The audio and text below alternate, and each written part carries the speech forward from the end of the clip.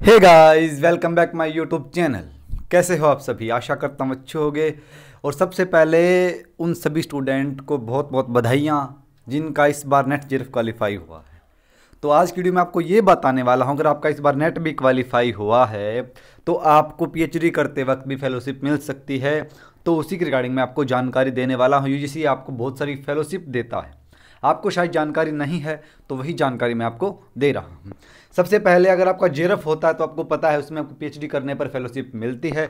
और साथ में यहाँ पर अगर आपका नेट क्वालिफाई होता है, नेट क्वालिफाई का मतलब ये है कि आपका नेट अच्छे मार्क्स से क्वालिफाई हो गया, लेकिन जेरफ नहीं हुआ तो उसके लिए यहाँ पर तीन फेलोशिप अवेलेबल हैं।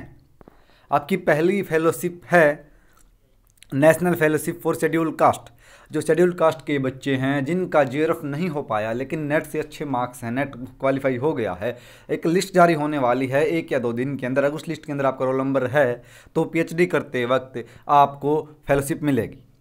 दूसरी फेलोशिप आपकी national fellowship for backward class. जो ओबीसी के बच्चे हैं, बैकवर्ड क्लास के बच्चे हैं, उनके लिए है, और तीसरी आपकी फेलोशिप है Maulana Azad national fellowship for minority student, जो माइनॉरिटी के स्टूडेंट हैं, एसटी के स्टूडेंट हैं, एससी के स्टूडेंट हैं, ओबीसी के स्टूडेंट हैं, उन स्टूडेंट के लिए अगर आपका जे क्वालिफाई नहीं हो पा रहा है, लेकिन नेट अच्छे मार्क्स से क्वालिफाई हो गया है। जैसे नेट की, जो आपका लिस्ट है, आपके नेट क्वालिफाई की, आपके कैटेगरी की, सभी कैटेगरी की मान लेते हैं, आपकी एट्टी परसेंटाइल है।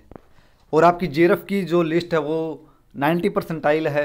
अगर आपके मार्क्स एट्टी फाइव के अक्रॉस हैं तो आपकी ये फेलोशिप लग जाएगी।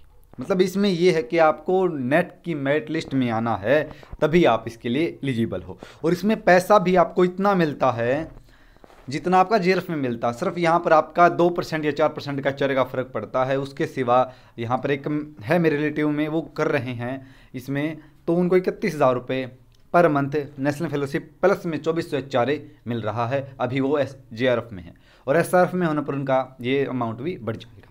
तो ये इंपॉर्टेंट जानकारी आपके लिए लेकर आया हूँ। अगर आपको अच्छे लगे तो वीडियो को लाइक करें शेयर करें और मेरे चैनल को सब्सक्राइब से ज़रूर करें। Thank you so much